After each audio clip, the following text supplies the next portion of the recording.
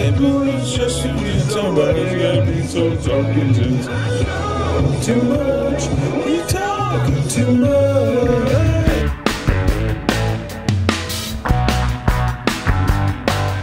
Morning class. All right, so today's topic in how not to suck at teaching is staying current with the times. All right, so there's um, the one of the hot words now is STEAM and STEM.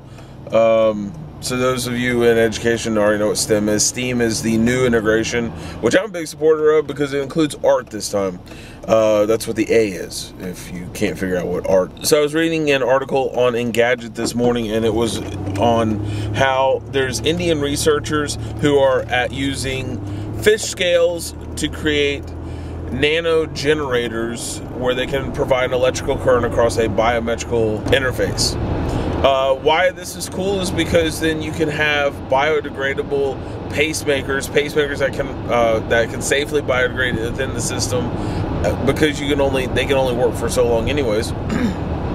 but you can also have them using the pulse of the human heartbeat to run the machine, which is really cool.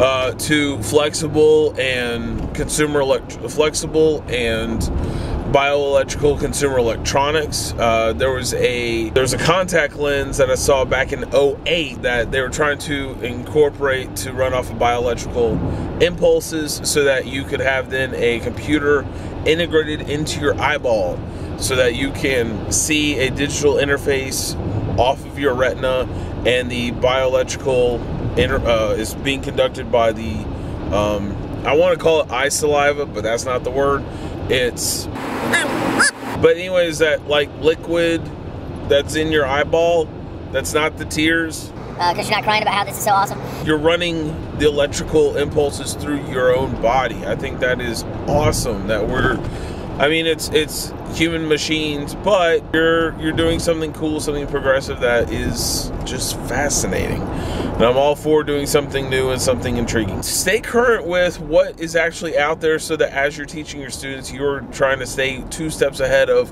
what they might be reading. That way, when they come to you and ask a question, hey, what does this mean? You can provide an accurate answer. I'm a big I'm a big fan of tech. I, I have all my students know that from the kind of the get go of, of class time for me is that I'm a big techie.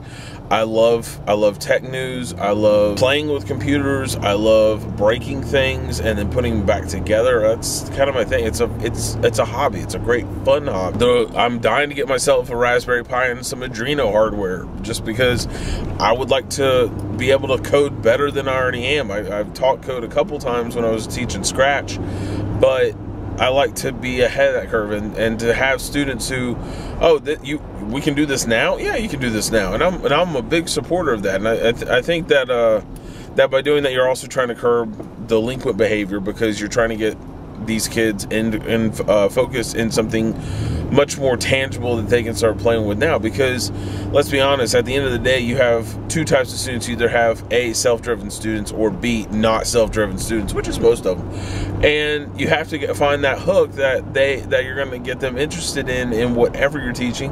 And for you to get that hook is being something popular and current that they don't know yet or they know a little bit about and they want to know more and deep diving into those conversations with them to create that much more fundamental educational experience that is grossly engaging and incorporates them into multiple levels that they didn't know they were capable of and you didn't know they were capable of. And at the end you had this great experience together.